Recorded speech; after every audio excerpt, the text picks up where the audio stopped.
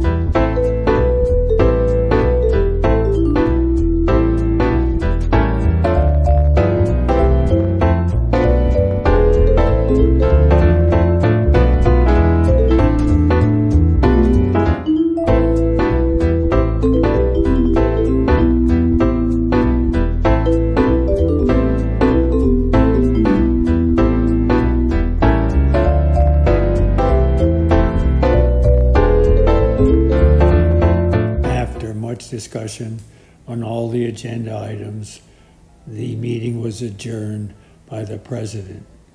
Minutes of the meeting will be distributed soon to all property owners.